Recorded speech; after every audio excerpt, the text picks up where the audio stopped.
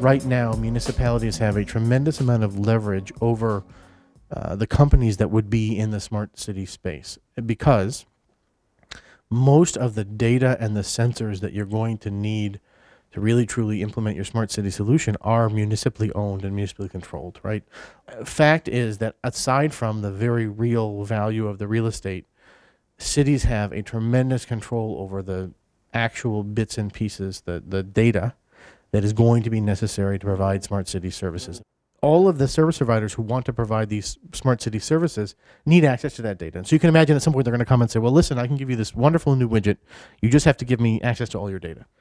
Um, instead of saying, okay, great, here, here's the data and um, here are the terms you can access it. Instead, what if you said, this is our digital town square. This is our city web. This is our local inter-exchange for city municipal service related data.